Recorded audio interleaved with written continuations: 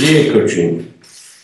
Allora, abbiamo tanti soldi che possiamo anche pagare le ditte che più sono simpatiche al potere a KPMG, le aziende ospedaliere e cliniche, quello che è vicino al cuore del, del potere politico romano e calabrese, anche due volte.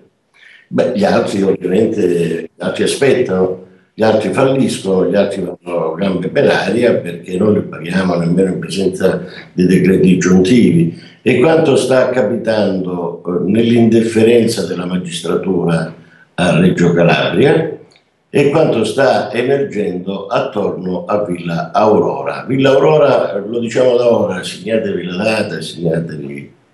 Eh, è l'esempio ed è la madre di tutte le ruberie nel settore della sanità.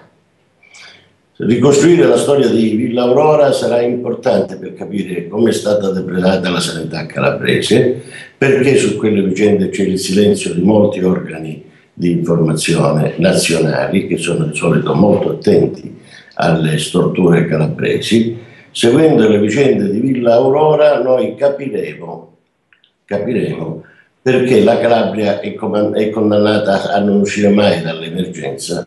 Perché solo tenendola nell'emergenza sanitaria si possono continuare a fare le cose che si stanno facendo, ma non che siano tutte esterne le responsabilità.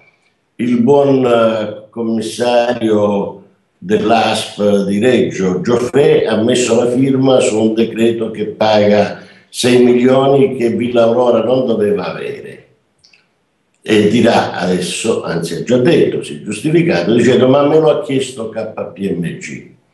Sì, lo avrà pure chiesto KPMG che è l'organo che doveva verificare, però dentro la delibera mancava la firma del responsabile di ragioneria, mancava il, la copia del decreto ingiuntivo che certificasse il credito, mancavano una serie di atti che non è che mancano in tutte le delibere, caro Geoffrey, mancano solo in quella delibera. Perché l'hai firmata?